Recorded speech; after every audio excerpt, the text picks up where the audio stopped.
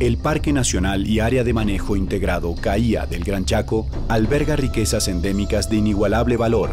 Siendo el parque nacional más grande de Bolivia, dentro de sus límites encontramos una amplísima biodiversidad que guarda un delicado equilibrio gracias a cada una de las especies de flora y fauna que en él habitan, y cuya supervivencia depende directamente de que su hábitat se mantenga intacto. Una de estas especies es el guanaco, esta especie está clasificada en peligro crítico de extinción debido a que ha sido víctima de la cacería indiscriminada en el pasado y la avanzada pérdida de su hábitat natural. Las últimas poblaciones que podemos encontrar en vida silvestre se encuentran aisladas en la zona suroeste del Parque Nacional Caía.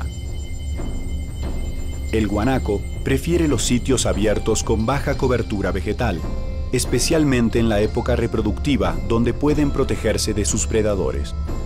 Viven en grupos familiares conformados por un macho y hasta siete hembras.